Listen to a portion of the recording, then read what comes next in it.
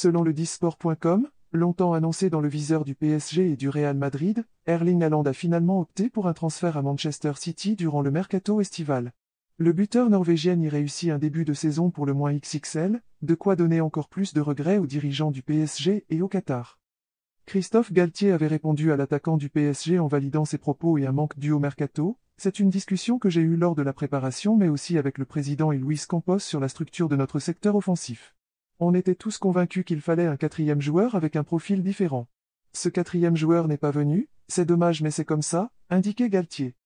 En clair, il manque un buteur d'envergure au PSG, et il aurait pourtant pu s'agir d'Erling Haaland. Le Norvégien, recruté par Manchester City cet été en provenance du Borussia Dortmund pour 70 millions d'euros, réalise un début de saison colossal en Première Ligue avec les Citizens, 14 buts, 4 passes décisives, et semble réunir tous les critères attendus par le PSG. Mais le Qatar, qui a finalement réussi à prolonger Kylian Mbappé, est finalement passé à côté du phénomène Haaland qui aurait pourtant été la star idéale en complément de son attaquant français.